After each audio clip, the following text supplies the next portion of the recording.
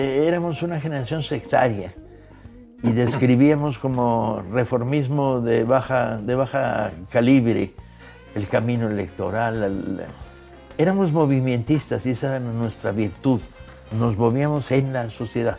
Y un día estábamos pegados en la calle con los maestros de enseñanza básica, otro día con los mineros, ah, otro día en los barrios que tomaban tierra. Este, y eso nos, nos, nos volvió sensibles y sensibles a la idea del Frente Amplio, no a la lucha interna dentro de la... bueno, esto es lo que cuenta el libro. Cuenta momentos de sectarismo desbordados, momentos de, de, terrible. La historia de la izquierda en México, como en todos sitios, es una historia de desencuentros. Sí, y de encuentros, porque eso es lo que rescata el libro.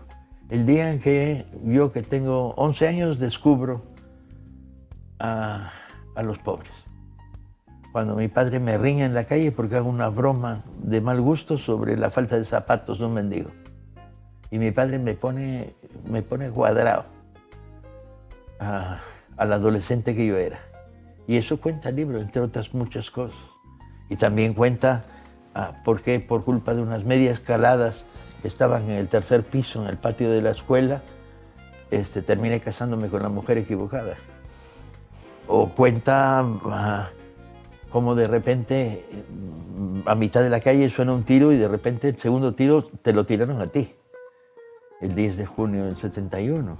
O cuenta uh, el encuentro entre mi generación y los barrios duros de la clase obrera de la, de la periferia de la Ciudad de México, cuando llegamos inocentemente a alfabetizar y salimos tirados en el suelo de una patrulla de la policía con una 45 en la cabeza porque estábamos alfabetizando obreros que cuando los alfabetizabas descubrían que su sobre de raya, la raya es el salario, estaba mal hecho y les descontaban cosas que no existían.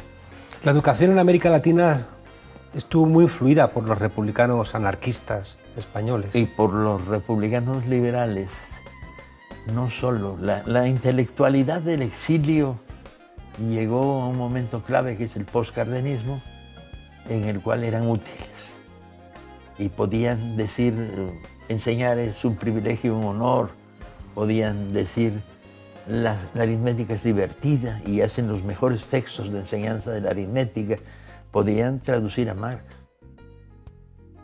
Como Venceslao Roth. Exactamente. ¿Cómo pesa en tu condición de mexicano los orígenes familiares españoles? Mucho. Asturianos en concreto. Asturianos, mucho y poco. Mucho en el sentido de que yo me creé con el mito de la Revolución de Octubre. Era la conversación favorita de las miles de conversaciones de la sobremesa. Mi tío abuelo detenido y torturado, del director del 34, director de avance. Mi abuelo tomó las armas, mi padre vio a los mineros entrando por Oviedo cuando tenía 14 años. Mucho. Y el mito asturiano, el mito proletario y me volvió proletarista de, origen, la clase obrera.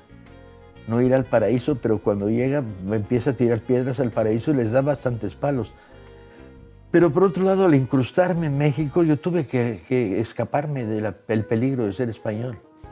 Tenía que decir que el Guadalquivir no sé dónde está, que el Usumacinta es el río de verdad, que Juárez cumplía años el 21 de marzo, que tenía que, que transformarme o iba a ser sujeto del bullying, que lo fui los primeros años de mi, segunda infancia, porque cada 15 de septiembre me querían quemar los pies mis compañeros de colegio en la venganza de Cuauhtémoc, entonces había que protegerse y empecé a generar toda una desnacionalización española para nacionalizarme mexicano por la vía de los hechos. ¿sí?